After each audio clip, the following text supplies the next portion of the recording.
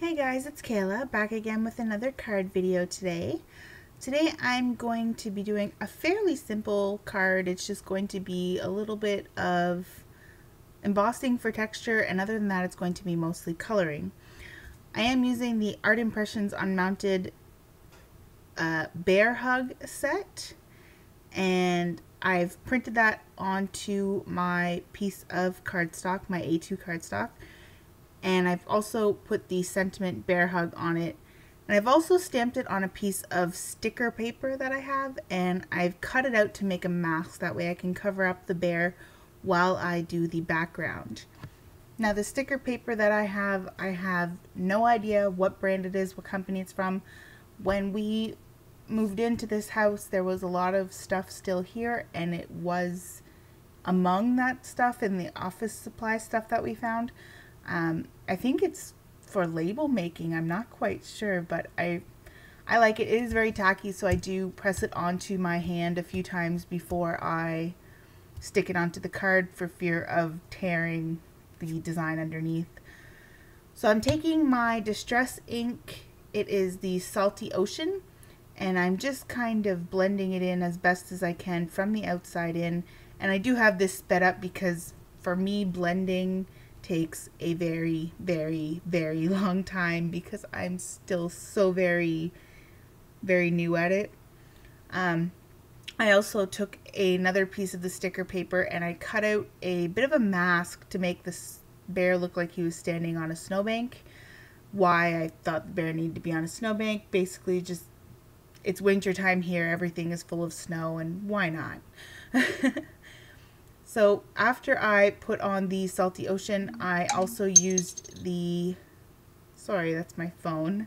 I also used the black soot to make, give it a bit more depth and just darken up around the edges. Once again, using my mini blending tool.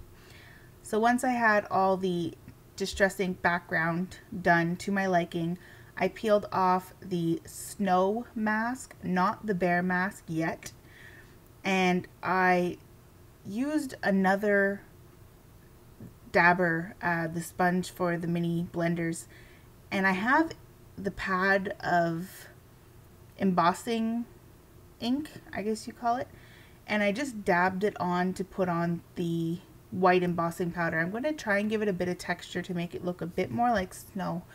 And what I did to achieve it to look not just like a regular embossing is I embossed one layer, I went back in I put select areas with more of the embossing gel, glue, ink, re-embossed it. And I did that about three times total to end up kind of with a little bit of depth, depth to, so I just heated that up, you'll see here.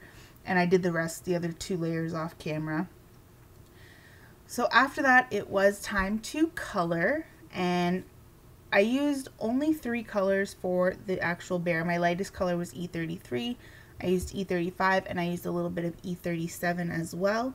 For the bear's boxers, it was R37 for the little hearts and W1 for the actual boxer shorts themselves. And for the tie, I used B02. So, like I said, I've sped this up. I'm just going to put on a bit of music and I will be right back with the finishing touches.